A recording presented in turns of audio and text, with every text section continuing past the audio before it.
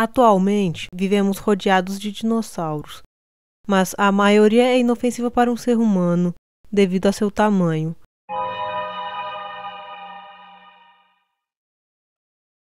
Mas há milhões de anos no passado, o mundo era bem diferente.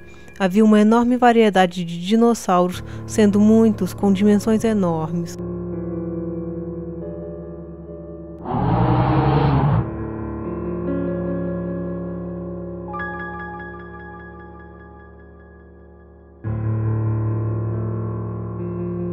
Conhecidos especialmente por suas garras de foice, os raptores eram animais muito inteligentes, intimamente relacionados às aves.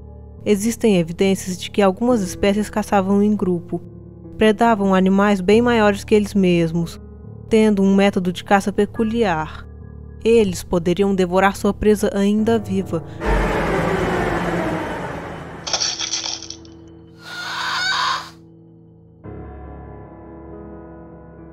arrancando pedaços dela até ela sucumbir. O maior raptor já descoberto é o Utah Raptor. Sua cabeça era do tamanho da cabeça de um cavalo.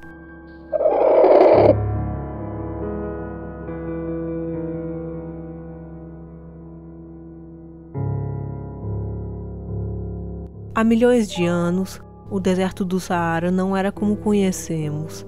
Tinha lagos, plantas e muitos animais diferentes. Se um humano viajasse para lá, não duraria muito tempo. O local era repleto de predadores.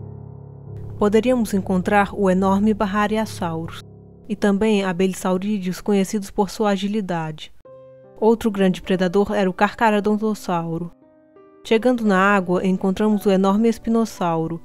Apenas a cabeça dele poderia medir 1,75m.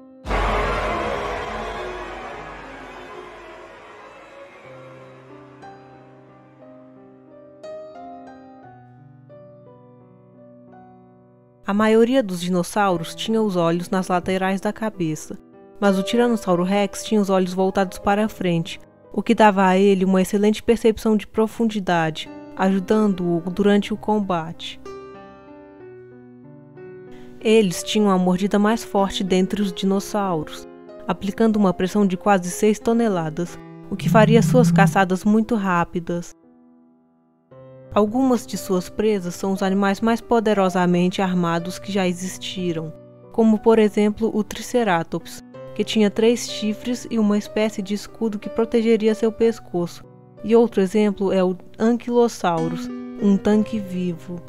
Eles tinham uma couraça poderosa e uma clava em sua cauda que seria capaz de quebrar os ossos de seus oponentes. Existem evidências de que o Tiranossauro Rex provavelmente era canibal.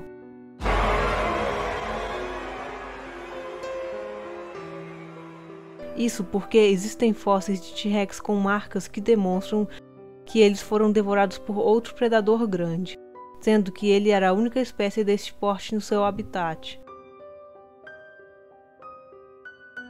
Pessoal, esse vídeo deu muito trabalho. Eu e a outra produtora fizemos essas artes que são autorais aqui do canal. Para ajudar o canal a ter mais vídeos como esse, deixe seu joinha, se inscreva e compartilhe esse vídeo.